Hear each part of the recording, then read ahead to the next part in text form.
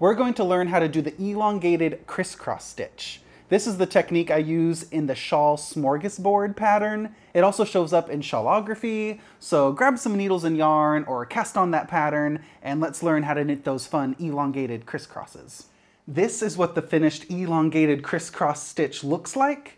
So follow your pattern and whenever you start doing that crisscross elongated stitch technique, the first thing you do is usually on the right side and it's gonna say, in my patterns, it says knitting to uh, the end of the row while working four wraps into each stitch.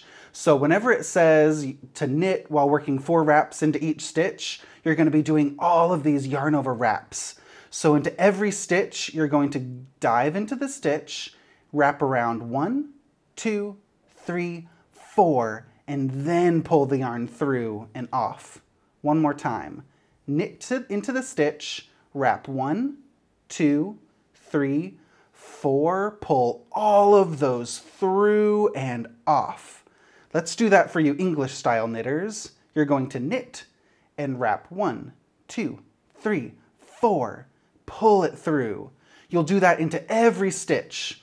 So follow the pattern. When I'm doing that technique on the shawl smorgasbord pattern right here, it's gonna be some, you're gonna have some edge stitches that don't have the wraps. So only when the pattern says to knit while working four wraps into each stitch, knit one, two, three, four, pull it through. When you do those wraps, don't wrap them too tightly because you want them to slide on the needle easily. And when you're working with this technique, it's really nice to have a needle that has a smooth join from the needle to the cable. If you have an interchangeable needle or some type of needle where that gap, that join is kind of, where it snags or you can feel a, a big difference between the needle and the cord, it's gonna be hard to move your stitches later. So get a needle with a smooth join, knit and wrap one, two, three, four, not too tight. Pull all those wraps through, and that's the preparatory row. I do that on the right side. I'm ready to do the cross technique, so follow your pattern. On this row, I need to knit some stitches, and the pattern says to purl two. Okay, so do whatever you need to do. Now, the important thing is when the pattern says cross eight stitches. When you need to cross eight stitches, follow the instructions, and you first need to slip eight stitches purlwise onto the right needle. And as you slip those eight stitches onto the right needle, you'll be letting go of all of those wraps that you just did. We're gonna do that eight times, eight stitches. So what do we have? How many? We've got one, two, three, four, five, six, seven, eight long stitches.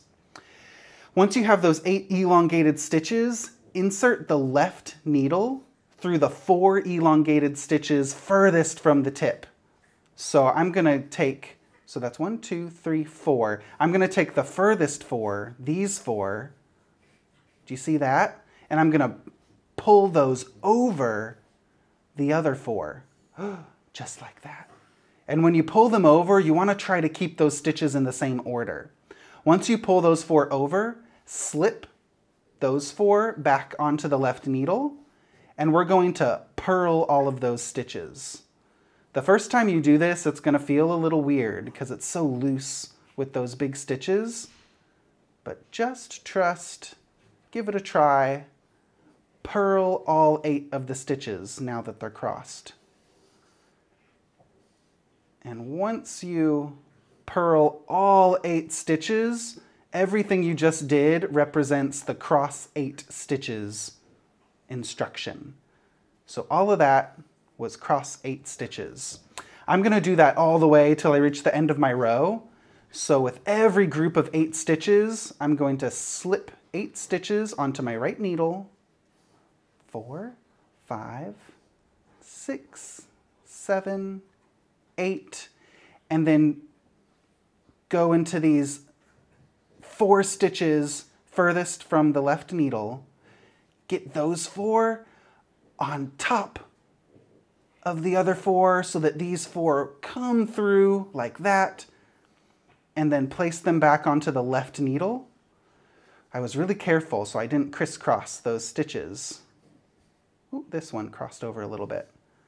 So if, if a couple of those strands, you know, get a little tangled, don't worry about it. Just purl all eight stitches and you won't really be able to tell. But try to keep the stitches in the same order. And now you can purl all eight stitches. Let's do that one more time. Look at that, we have that beautiful crisscross. Oh, I just love it, especially with a variegated yarn. You really see those hand-painted streaks of color. Beautiful. So one more time, once you do more of those crosses, you may have to charge your needle with more stitches. And if it gets a little tight, I go to the base of the needle and I just use my thumb to coax those wraps onto my left needle so that I'm ready to do the next eight. One, two, three, four, five, six, seven, and eight. Get all of those wraps off.